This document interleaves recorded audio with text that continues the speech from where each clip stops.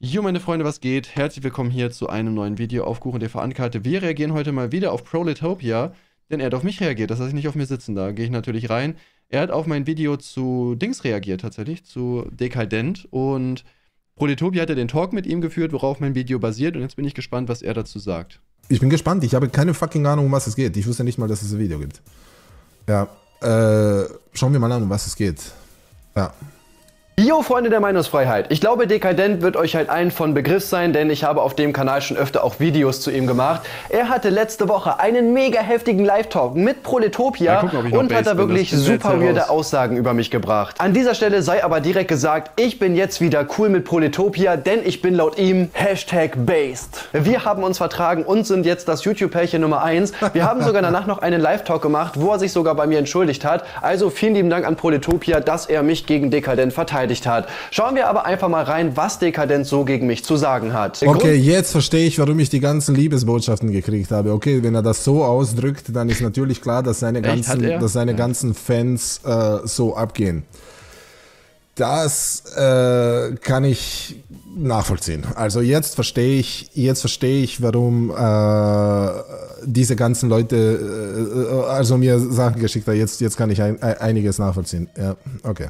Cool. Grundsätzlich geht es um die Frage, ob ich weiter auf Twitch streamen darf. Und dazu sagt Karl unter anderem folgendes. Das zu sagen. Warum soll mir die Meinung eines ungelernten, verurteilten Volksverbrechers und mutmaßlichen Frauenschlägers auch nur in Volksverhetzers meinst du, nicht Volksverbrechers. Volksverhetzer meinst du? Ja, also ist ja, ein, ist ja ein Verbrechen am Volk. Aber warum, warum warum soll das irgendeine Daseinsberechtigung haben? Ist das Video laut bei mir? Ich habe es extra runtergepegelt jetzt. Also erstmal ist das halt wieder dieses typische, ja, ich werfe gerne mit Schlagwörtern um mich, denn so muss ich mich inhaltlich mit der Person gar nicht erst auseinandersetzen. Wisst ihr, was ich daran aber viel, viel lustiger finde? Karl möchte sich jetzt also nicht mehr mit mir auseinandersetzen, weil ich ungelernt bin, weil ich wegen Volksverhetzung verurteilt wurde und wegen der Sache mit Gina, die zwar nicht bewiesen ist, aber das reicht schon, dass da Vorwürfe im Raum stehen. Die Sache mit Gina war 2017. Die Volksverhetzung, Verurteilung habe ich 2016 bekommen und ungelernt gelernt bin ich ja eigentlich schon mein ganzes Leben. Wenn dich diese Punkte wirklich so krass stören, dann frage ich mich doch, warum du im Jahre 2019 und 2020 Live-Talks mit mir gemacht hast. Und nicht nur das, im Jahre 2020 und 2021 hat er so auf 10 oder 15 Videos von mir reagiert. Also wie gesagt gab es den Streit ja damals schon, die Verurteilung zur Volksverhetzung war auch schon raus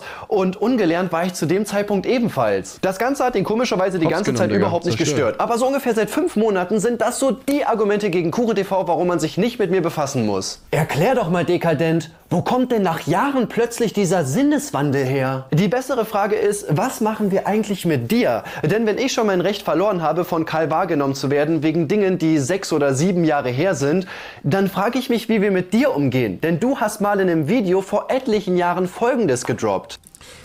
Oh, ich glaube, jetzt kommt ein N-Wort. Ich habe das weggemacht. Mal gucken, ob er das... Nicht der Fackel rum!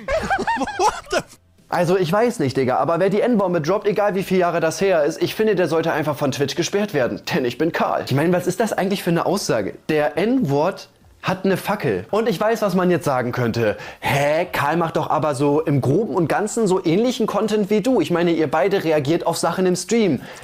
Naja, Karl hat auch darüber in dem Gespräch gesprochen. Also Karl hat auch in dem Gespräch gesagt, dass er äh, findet auch, dass er dafür gebannt hätte werden sollen. Also das hat er auch in unserem Gespräch gesagt. Er hat, äh, ist dazu gestanden, dass er gesagt hat, er hätte dafür actually gebannt werden sollen. Ja, ja, gut, es geht ja nicht dafür, ob er dafür gebannt hätte sollen oder nicht, sondern seine Argumentation ist ja quasi, okay, KuchenTV hat vor etlichen Jahren Dinge gemacht, die ich heute nicht cool finde und deswegen soll, darf er jetzt gar nicht mehr auf Twitch streamen. Also da müsste Karl ja jetzt heute noch wollen, dass er für immer auf Twitch gesperrt wird quasi. Ich finde nicht, ich finde nicht. Ich finde, Karl äh, hat sich halt geändert, Karl hat dazu gelernt und ich denke, dass Karl äh, durch all das, was er gelernt hat, äh, ja, jetzt ein besserer Mensch ist. Und äh, ich finde, der hat die Chance verdient, sich zu bessern und die hat er auch genützt. Und deswegen finde ich eben, genau deswegen finde ich Boah, dieses sich wirklich verbessert Leute hat. Plattform. Also ja, so, so in, in, in dem Sinne schon, aber in die andere Richtung ist er auch zu extrem genau, geworden. nicht also. gut. Ja, weil ich denke, äh, man kann sich gut entwickeln. Und Karl hat bewiesen, dass man sich gut entwickeln kann. Und äh, Kuchen hat sich auch gut entwickelt, meiner Meinung nach. Ich habe mich auch entwickelt, wir alle entwickeln uns und deswegen sollte man nicht vorschnell sein dorthin, dass man jemandem einfach sozusagen komplett die Plattform nimmt, sondern ich glaube eher, wir sollten uns die Hände reichen und wir sollten irgendwie so gegenseitig sagen, so hey, wenn ich denke, dass du was falsch machst, reden wir halt miteinander. reden wir halt miteinander und vielleicht lernen wir was daraus. Vielleicht können wir was besser machen. Verstehst du? Also es ist einfach so mein Zugang. Ja, ist so, ich, ich glaube einfach, dass, das, dass es einfach besser ist. Ja. Ja, das machen wir. Allerdings gibt es eine Begründung, warum Karl das machen darf und ich nicht. Und die ist ziemlich gut. Ich, was mache ich anders? Ich, also ich ja, du stehst ja auch da mit älter. deiner Meinung. Ich nicht eine gelernte Kraft, also habe ich, hab ich, ein, hab ich ein, ein Universitätsfundament. Okay, also halt. Damals habe ich noch geraucht. Vor allem, der kann ja noch irgendwelche Musik im Hintergrund an, ne? Mega nervig. Wir fest. Karl darf das machen, weil er ist A älter und B hat er einen Universitätsabschluss. oh Mann. Das sind ja, das ist ein schlechtes Argument tatsächlich. Äh, weil ich habe das ja auch gesagt dann im Gespräch, so wenn es darum geht, dass Leute nur, die einen äh, Universitätsabschluss haben, streamen können, Bro, dann sind, keine Ahnung, ich glaube 90% aller Streamer weg. 90% der Streamer wären weg, so Montana Black wäre weg. Äh, er wäre weg. Ich habe auch keinen Abschluss auf einer Uni. Ich habe ich hab auf zwei Unis studiert, aber ich habe keinen Abschluss. Ja, ich habe keinen Abschluss gebraucht. Ich wollte keinen machen. Ja, ich hätte ich einen machen können. Hätte, also ich war zwei Semester von einem, von einem Bachelor entfernt. Ich wollte es aber nicht. Ich habe mir einfach gedacht, fuck that shit. Äh, will ich einfach nicht. Ja. Ehrenmann, Digga. Da ist Bitcoin wohl durch die Decke gegangen, war? Das ist kein Argument und auch ich bin älter als du ist kein fucking Argument, finde ich. Also so, weil ich meine, nach der Regel, nach der Regel, weil ich glaube, wie alt ist Karl? Karl ist unter 30, oder? Nee, Karl ist unter 30, ich glaube, Karl ist irgendwie so 27, 28 ist das sowas, Niemals, oder? Ist ja wurscht. Der Punkt ist einfach der. Ja, warte, wie bin, alt ist Dicker denn? Der ist doch nicht so äh, jung, ich bin fast oder? 40. Nach der Regel habe ich immer mehr Recht als er. Das ergibt, das ergibt keinen Sinn. Das ergibt keinen Sinn. Das ist so ist ein komisches Argument. Vor allem so, was heißt das? Das heißt, wenn du auch studiert hast, das ist auch eine wichtige Frage, wenn du studiert hast, über was darfst nicht, du reden? Nur über das, was du studiert hast? Dann darf ich äh, nur über ähm, Filme sprechen. Da darf ich nur über Medien sprechen. Dann habe ich sogar mehr Berechtigung eigentlich, actually auf Twitch zu sein, als alle anderen zusammen, nach der Logik, weil ich habe Medien studiert. Eigentlich sollte niemand auf Twitch sein, weil die anderen haben nicht Medien studiert. Wenn du, wenn, das heißt, wenn du irgendwas studiert hast, was nicht Medien ist, ja, 33 das machst du dann auf sein, Medien. Wenn du Arzt studiert hast, geh gefälligst in dein Krankenhaus und red nicht auf Medien. Du musst Medien studieren, um auf Medien zu reden. Verstehst du? Also so, der Punkt ist einfach, äh, wen, warum ergibt es, so, warum, warum muss man sich qualifizieren zum Streamen? Ja. Ich glaube, ja, ich meine, ich verstehe das halt auch generell nicht. Ne? Also klar, Dekadenz-Aussage ist wahrscheinlich halt so gemeint im Sinne von so, ja, guck mal, ich weiß, wie man Studien lesen muss oder so. Ähm, wobei er das, glaube ich, bei den Space Rocks sogar genau das gleiche halt kritisiert hatte, soweit ich weiß. So, ne? Aber ich, ja, ich denke mal, der meint das quasi so, ja, ne, wenn man halt diesen, diesen Bildungsabschluss hat, so dann weiß man halt, wie man, äh, wie man mit wissenschaftlichen Arbeiten und so umgehen soll. So, das Ding ist aber, du, also du musst ja nicht unbedingt studiert haben, um das halt zu können. Ne? Klar, du kannst es dann, also du hast es dann halt irgendwo mal beigebracht bekommen. Du kannst ja aber auch alles selber beibringen. Ne? Also es gibt zum Beispiel bei, bei Medien, ne, das kriege ich auch selber mit, durch Kollegen von mir. Es ist vollkommen egal, wenn du so Imagefilme oder sowas machst, was für einen Abschluss du hast. Keiner wird sagen, oh, du hast, äh, weiß nicht, Film studiert, ja krass, Digga, dann kriegst du 100 Euro die Stunde. So ist es vollkommen egal. Es geht nur darum, was du ablieferst. So, du kannst, du brauchst nicht mal, du brauchst nicht mal eine Ausbildung. Du kannst, brauchst nicht mal einen Schulabschluss. Wenn du einfach krasse Filme machst, dann spricht sich das rum und dann kriegst du auch deine 100 Euro die Stunde, wenn die Filme einfach krass sind. So, ne, das ist halt vollkommen egal, wie du es dir beigebracht hast, solange du es halt kannst. Und ich finde genau das gleiche ist auch bei, bei, bei Livestreams und Videos so, ne? Also, ähm, ich sag mir, egal ob man meiner Meinung ist oder nicht, also ich mache ja die Videos trotzdem halt ganz gut, ne? Bringe halt meine Meinung immer gut runter. Ist ja nicht so, dass ich jetzt in jedem Video komplett Bullshit laber, weil ich Dinge gar nicht verstehe, weil ich Dinge die ganze Zeit falsch miteinander verknüpfe und so weiter.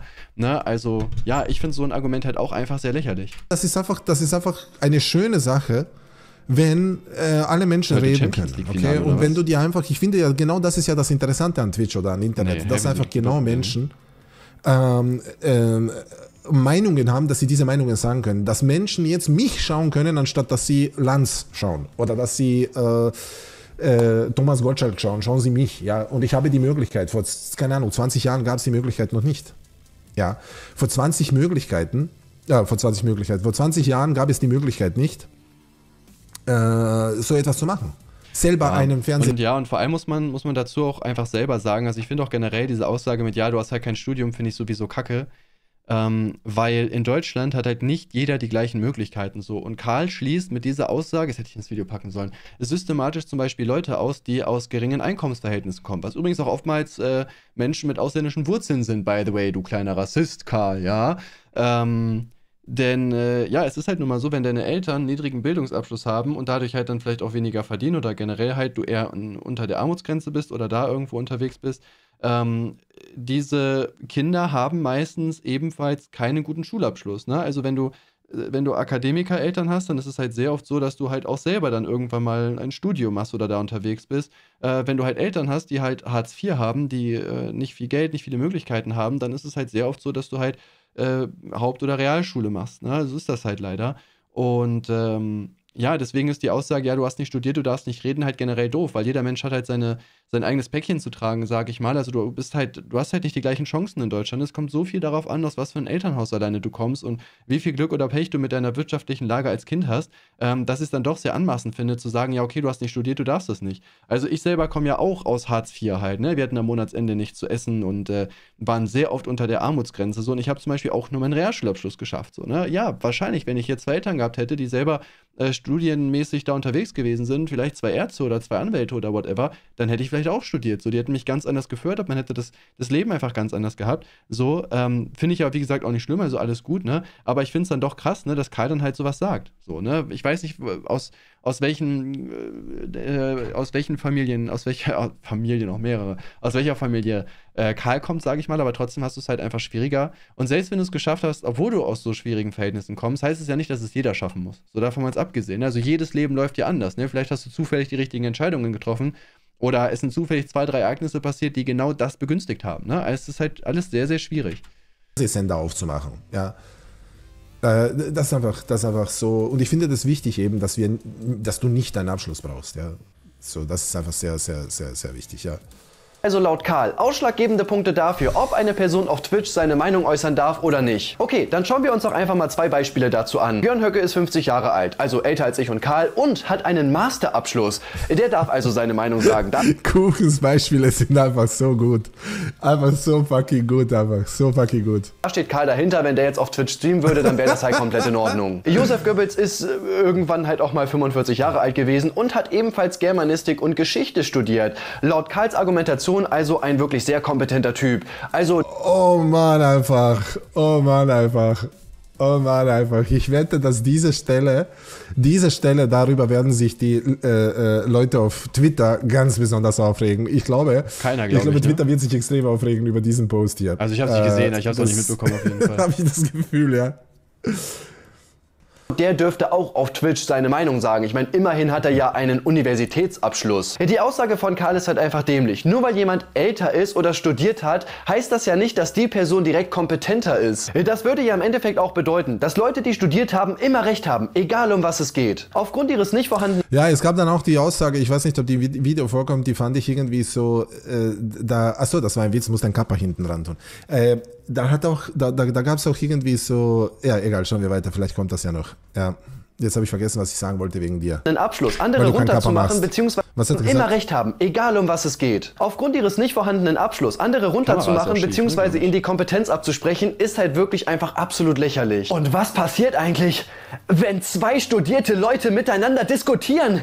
Die haben doch beide recht. Wir machen lieber weiter. Junge Menschen sind sehr viel beeinflussbarer. Ja. Genau. Und sollte man junge Menschen von anderen Menschen, die kein Bildungsfundament haben, unterrichten lassen? Irgendwer hat mir äh, unter ein YouTube-Video geschrieben, hat gesagt, äh, komm Erwin, sei doch jetzt mal ehrlich, von wem würdest du dein Kind erziehen lassen? Jetzt ganz im Ernst. Eher von KuchenTV oder eher von Dekadent? Also wenn er da nicht KuchenTV sagt, Sei doch mal ehrlich.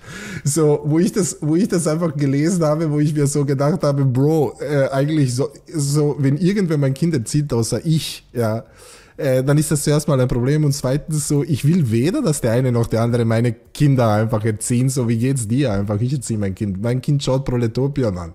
Mein Kind schaut fucking, mein, mein Kind wird Mod in Proletopia und schaut Proletopia jeden Tag. Was geht? Ja. Ist das eine gute Idee? Der Dekadent ist also der Meinung, dass jemand, der kein Bildungsfundament hat, nicht seine Meinung auf Twitch oder YouTube äußern sollte. Denn genau darum ging es ja in dem Live-Talk zwischen den beiden. Nehmen wir einfach mal Rezo als Beispiel. Der hat Informatik mit Nebenfach Musik studiert. Laut Karl ist das ja eigentlich ein Bildungsfundament, was er hat. Aber macht ihn das wirklich zum Experten, sodass er ein 50-minütiges Video gegen die CDU erstellen kann? Ich meine, er hat nichts studiert, was irgendwie ja. mit Politik oder sowas zu tun hat. Oder hey, das ist das, was, was, äh, was Politopia ja vorher äh, gesagt hat. Genau das. Junge, krank einfach. Ach, ein Montana Black sich über Corona-Leugner beschweren. Denn Montana Black hat ja auch nie studiert. Dürfte es dann überhaupt noch Meinungsblogger geben? Oder ist es überhaupt in Ordnung, dass eine Person, die nicht studiert hat, im Internet ihre Meinung frei äußert? Die Aussage von Karl macht halt null Sinn. Er möchte mich halt damit diskreditieren bzw. sich über mich stellen, indem er sagen kann, ja, aber der, der hat ja nicht mal studiert. Und ich bin älter. Aber eine Sache dürfen wir nicht vergessen. Aber du beeinflusst doch auch junge Menschen. Absolut, ja. Und ich glaube, damit, dass ich damit einen sehr viel besseren Job mache als KuchenTV. Ja, aber das glaubst du eben. das ist halt auch wirklich so geil. Digga, das, das ist einfach mein. Warum? Warte mal, warum, warum bin ich da als Coronavirus? Also, das ist ja mein Emote hier im Chat, aber warum, warum fliegt er im Proletopia-Stream lang? Das ist ja auch nur geil. Das glaubst du. Ah, ich liebe das ist halt auch wirklich so geil. Karl beeinflusst junge Leute, und ich beeinflusse auch junge Leute. Aber Karl macht das deutlich besser. Deswegen ist es bei ihm in Ordnung und bei mir muss man das Ganze kritisieren. Ich meine, es ist ja klar, dass er das so sieht, dass er das besser macht als ich, oder? Ja, aber wenn du ihn die Plattforms, dann hat er nicht mehr das Recht auf seine Meinung auf diesen Plattformen. Hä? Was, was, ist, was hat denn das mit Meinungsäußerungen zu tun, ob dir Millionen Jugendliche zuhören dürfen oder nicht? Was hat das mit Meinungsäußerungen zu tun, ob ihm Millionen Jugendliche zuhören dürfen oder nicht? Also merkt ihr diese Doppelmoral in diesem einen Satz oder soll ich euch das erklären? Aber später hat er dazu nochmal Folgendes gesagt. Erzähl halt irgendwas, was du möchtest in deinem kleinen Kellerchen, wo es keiner mitbekommt und ja. ungefiltert, unreflektiert. Ja, also Dekadent ist halt, was soll ich dazu sagen, ne? der ist halt wirklich super krass in seiner eigenen Meinung einfach festgefahren, so, ne? Also offensichtlicherweise. Ähm, ich finde das halt auch super schlimm. Ich habe ja, wir haben ja den Talk hier sogar live gesehen und ich dachte auch so, Alter, das kann nicht dein Ernst sein. Das kannst du jetzt nicht wirklich so gedroppt haben. Das funktioniert nicht. So, ne? Es ist halt, es ist halt schon wirklich sehr, sehr, sehr, sehr weird, was er da einfach von sich gibt, ne? Und ich, ich glaube auch nicht, dass Karl selber davon überzeugt ist, sondern ich glaube, er versucht halt einfach irgendwie mich halt zu diskreditieren, so. Er weiß, glaube ich, selber, dass das, was er sagt, dumm ist, aber da, das sind halt Punkte, wo er glaubt, okay, damit treffe ich halt KuchenTV oder damit kann ich jetzt meine Meinung bestätigen, KuchenTV muss halt weg.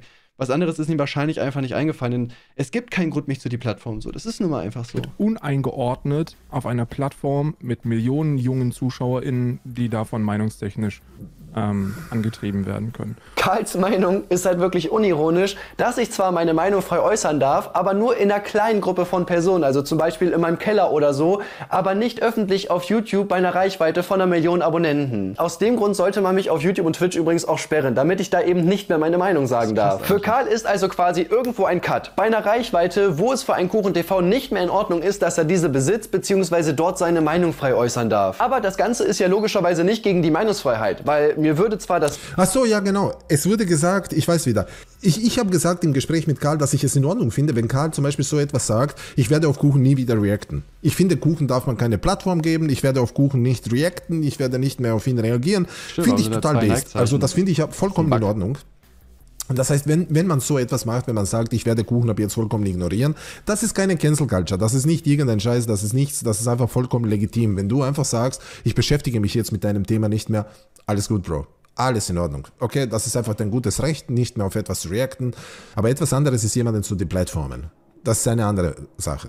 Also jemanden von YouTube oder von Twitch und ähnliches zu verbannen, weil, er, äh, weil du nicht okay damit bist, was Leute äh, ja,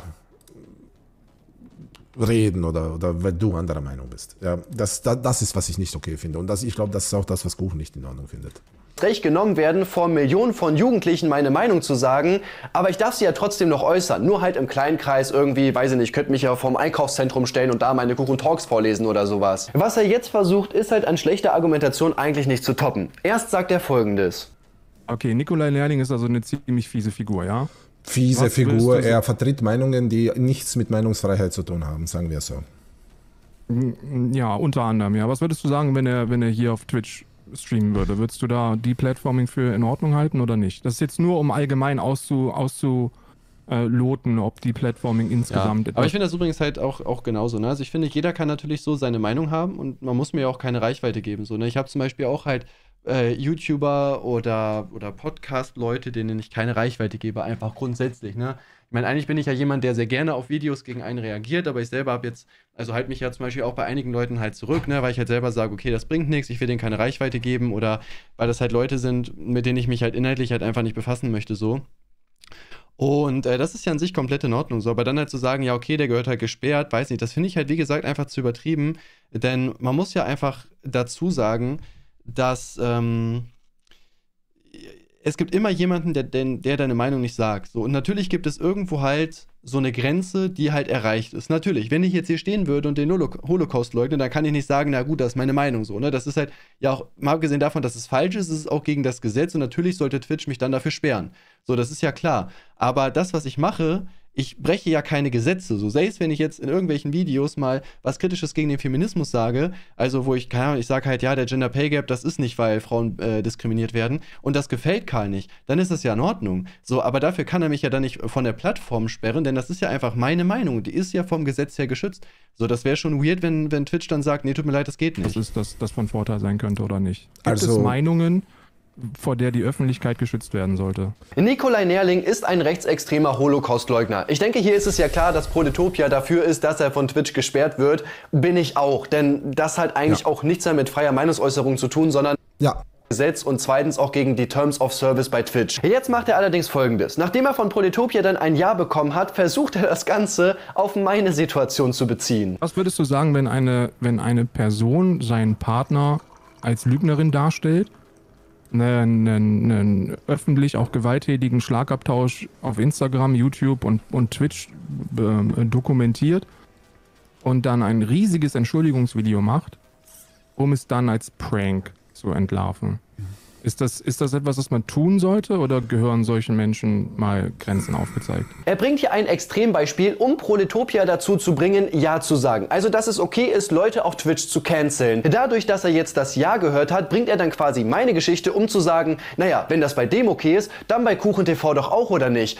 Obwohl das logischerweise überhaupt nicht das gleiche ist. Er versucht mich halt auf einer Stufe mit einem rechtsextremen Holocaustleugner zu stellen. Denn seine Argumentation ist ja quasi, naja, wenn der Nikolai hier gecancelt werden darf, dann KuchenTV doch auch, oder nicht? Ey, das kannst du dir nicht ausdenken, Mann. Er sagt ja auch, dass ich einfach meine Strafe bekommen muss für das, was ich tue. Aber habe ich ja. Ich habe massiv Abonnenten und Klicks verloren. Also, genau, warum sollte ist. man mich denn dann noch von irgendwelchen warum hat das jetzt Plattformen ausschließen? Ist ja gut. Wenn ich ihn auf Twitter erwähnt habe, einmal oder so, weil ich der Meinung bin, da hat eine Person sein Recht auf öffentliche Wahrnehmung verwirkt.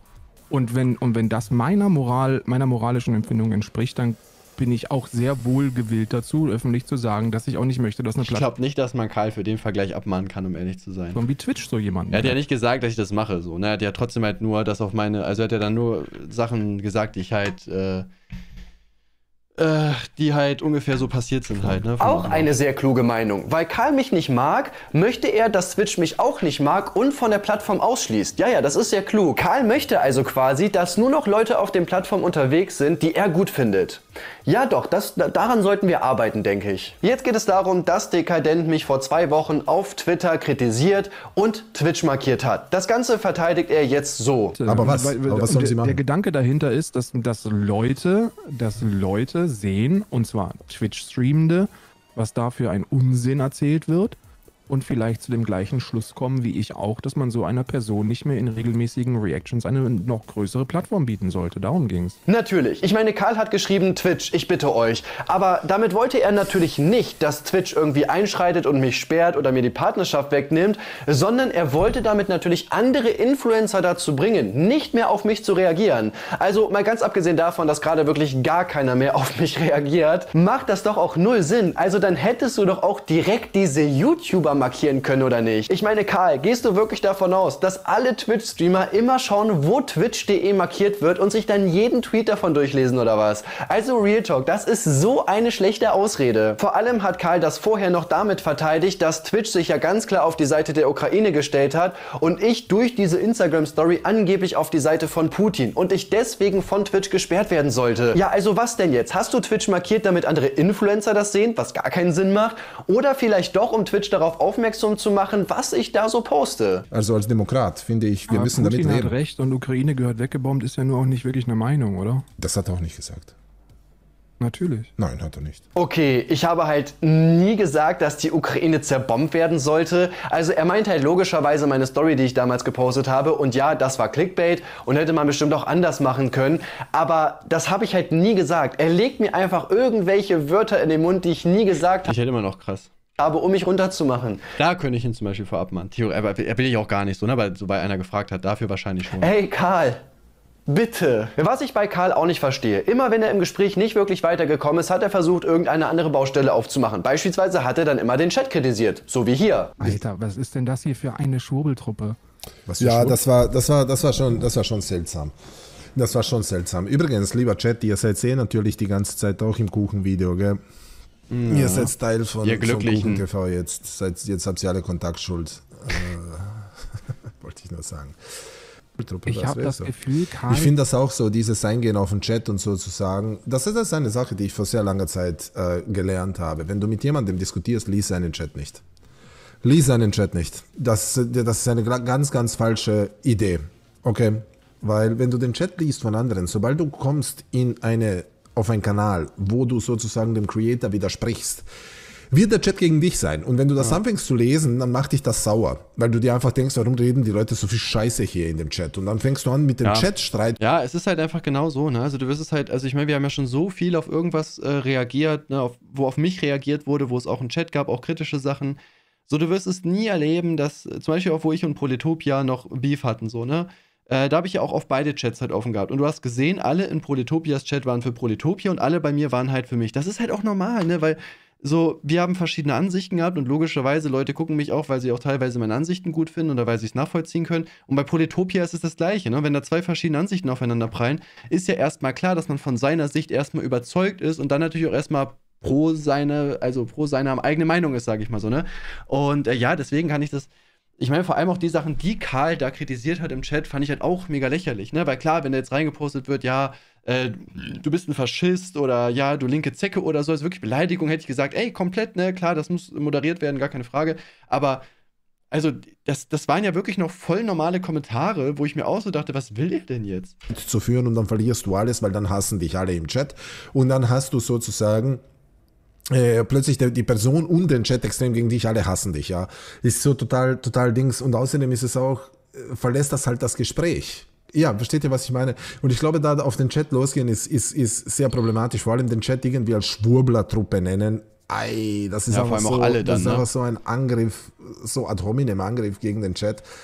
Ich denke, dass es sehr wichtig ist, zu verstehen auch eine. Stimmt, gibt es Bindestrich eigentlich noch? Sache. Lange nicht äh, früher war Karl sehr oft zu Gesprächen bei Einfach, mir Dankeschön, in, ähm, auf dem Kanal und davor haben wir uns sehr viele Zuschauer geteilt. Das heißt, so die Hälfte der Zuschauer auf meinem Kanal actually waren auch Zuschauer von Karl. Das heißt, äh, wenn Karl und ich unterschiedlicher Meinung waren, dann hat mein Chat auf meinem Kanal Karl gefeiert und nicht mich.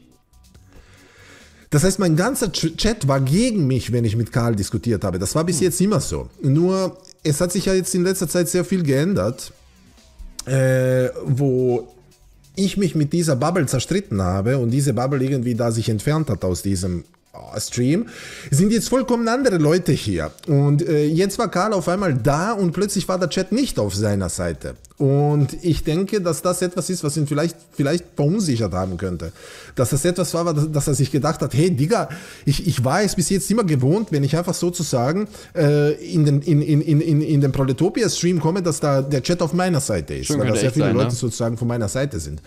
Äh, das war jetzt diesmal aber zum ersten Mal nicht so. Und ich, vielleicht hat ihn das irgendwie so, vielleicht redet er deswegen so oft über den Chat, weil ihn das irgendwie so verwundert Könnte hat, dass er sich sein, gedacht ne, hat, so, yo Bro, wo Oder er sucht einfach einen Ausweg. Ne? Es ist halt immer leicht dann sozusagen, ja, was schreiben die denn da jetzt? Jetzt müssen wir nicht mehr diskutieren, weil das, was die, die da ganzen, schreiben, ist doof. Wo sind meine ganzen Fans, Bro? weißt du? War, war bei ihm das letzte Mal genauso. Ja, ja, vielleicht, ja ich bin von Karl schon ein, von einem Jahr weg, weil ich es nicht ausgehalten habe, wie er Menschen im Chat behandelt, die mal etwas nicht verstanden haben oder anderer Meinung sind. Okay, ja, ist so, wollte ich nur sagen so. Das sind, das sind alles so Hintergrundgedanken, ne? Debattiert jetzt gerade auf Gefühlsbasis und sieht es nicht neutral an und es vernebelt seine Meinung momentan. Das ist ja kein Schwurbel, das ist seine Meinung. Was, wo steht Alter, das im Chat? Das ich habe das nicht also gesehen. Da sind wir in gefährlichen Gefilden unterwegs. Oh ja, der Kommentar, das Karl. Ja, das ist natürlich so dieses, äh, wir sind in gefährlichen Gefilden, wenn sich jemand, wenn jemand einfach seine Meinung sagt. Ich würde ich würd sagen. Ja, das, Ding, das, das Ding ist, was man dazu sagen muss, der Typ, der den Kommentar geschrieben hat, der hat ja keinen Universitätsabschluss. Ne? Dementsprechend hat er darf er natürlich auch seine Meinung nicht sagen. Da hat Karl schon recht. Ne? So, das sind keine gefährlichen Gefilde, wenn jemand seine Meinung sagt, solange diese Meinung nicht irgendwie beleidigend, diskreditierend und diffamierend ist gegenüber anderen, solange sie nicht andere herabsetzt oder irgendwie sich über andere stellt und andere halt, ja, herabwürdigt. Finde ich, ist jetzt nicht das Problem. Aber so, keine Ahnung, es gibt hier Leute im Chat permanent, die schreiben, ich finde Proletopia ist scheiße, ja. Okay, das ist halt deine Meinung. ja, Mann wird, wird einmal kritisiert, oho, jetzt wird gefährlich. Ja, was, soll ich, was soll ich tun? Früher habe ich solche Leute immer sofort Berma gebannt. Das mache ich mittlerweile nicht mehr, weil ich mir einfach denke, okay, das ist deine Meinung, was soll ich machen? Ich meine, wenn du fucking annoying bist, wenn du jetzt einfach so den ganzen Tag einfach lang nur schreibst, Proletopia, Scheiße, Proletopia, Scheiße, Proletopia, Scheiße, ganze, okay, dann benne ich dich, weil einfach so hör auf zu spammen. Aber, keine Ahnung, wenn du das einmal sagst, so, ey, ich bin nicht deiner fucking Meinung und du redest nur Scheiße, wenn du es einmal sagst, ist alles in Ordnung, Mann. Wenn das deine Meinung ist, alles gut, solange es kein Mobbing ist, ne?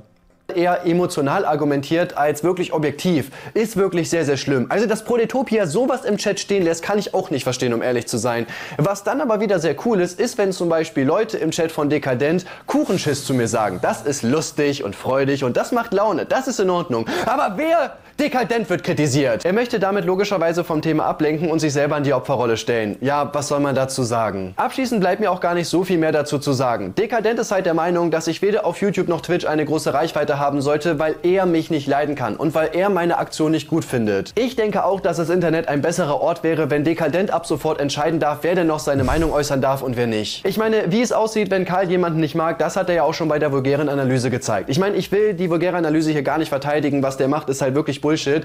Aber die vulgäre Analyse hat mal ein Video zu Dekadent gemacht. Und die Antwort von Dekadent war dann folgendes. Ich meine, er hat einfach mit Doxing gedroht, mit privaten Informationen. Und wie gesagt, will ich die vulgäre Analyse nicht verteidigen. Hat er das jetzt rausgekattet? Aber wenn rauskommt, wer der Typ Gut, dass du das dazu sagst. ist, dann ist der wahrscheinlich einfach tot. Und darüber solche Witze zu machen, beziehungsweise damit zu drohen, weil es ist nicht wirklich ein Witz, ist halt einfach eine Sache, die wirklich gar nicht geht. Nicht so böse zu denen, sonst macht Schlomo ein Video gegen dich. Das kannst du nicht wollen. Du öffnest die Bilder. Ich weiß, wie Schlomo heißt und wo er wohnt. Also wenn, wenn Schlomo ein Video gegen mich macht, dann werde ich das einfach veröffentlichen und ihn aus Irland anzeigen. ich weiß auch noch ein paar andere Sachen. Von daher ist das gerne ein Video machen, Alter. Sehr gerne. Müssen wir die Ist dann aber auch das letzte Video, das er gemacht hat. Du wirst keine Adressdaten veröffentlichen. Aus Irland raus könnte es eine Strafanzeige geben. Und wenn mir dann der Vorname rausrutscht und dann auch nochmal ein Nachname irgendwann, das kann schon passieren. Das sind Fehler, die passieren jedem. Das sind Fehler, die passieren. Wir in, wir in Irland, in Irland haben wir, haben wir komplett, komplett andere Mentalitäten. Er hat danach in einem Tweet auch noch gepostet. Es ist einfach fucking nicht okay. Uh, das ist einfach nicht in Ordnung. Das ist so. Das ist äh, auch einfach lächerlich. Also. Das ist einfach etwas, das. das Wie in Irland ja auch geil eigentlich, ne? Geht mir einfach fucking zu weit. Das ist einfach fucking crazy. Das, das ist nicht gut. Das ist einfach fucking nicht gut. Ja. Ich weiß nicht. Das ist einfach, es ist einfach sehr, sehr, sehr, äh, sehr gefährlich, sowas zu machen. Doxing ist einfach eine Grenze, über die geht man nicht. Das ist einfach eher eine fucking Sache. Es ist egal, wer jemand, was, äh, was jemand äh, redet oder nicht redet, man geht nicht dorthin. Das ist einfach eine Sache, dort geht man nicht hin. Das ist einfach nicht in Ordnung ja. postet, dass er ja gerne mit ihm reden würde, allerdings nur mit Video und ohne Verkleidung Niemals. und so weiter. Den hat er allerdings kurze Zeit wieder gelöscht, oh, weil es ihm wahrscheinlich dann doch peinlich gewesen ist. Was kann ich abschließend dazu sagen? Ich finde das Ganze schwierig. Leute doxen zu wollen, weil sie einen kritisieren, weil man vielleicht mit der Meinung nicht einhergeht, finde ich halt wirklich schon sehr, sehr schwierig. Aber auch, dass er Leute wie mich von Twitch und YouTube am liebsten entfernt haben wollen würde, weil ich ja Leute beeinflusse und nicht studiert habe, ist halt wirklich eine sehr gefährliche Meinung. Was sagt ihr dazu? Schreibt es gerne in die Kommentare. Wir sehen uns im nächsten Video. Bis dann. Okay, thanks, bye. Ich finde, du solltest auf Twitch gesperrt werden. das wüsste ich gar nicht mehr. Das wirklich Jo, meine Freunde, was geht? das Ende war wirklich gut. Uh, ja, okay, thanks. Uh, ja, gut. Er sagt auch nichts mehr dazu, ja. Wie gesagt, viel mehr kann ich dazu auch, glaube ich, nicht sagen. Ähm, ja, war ein krasses Video von mir.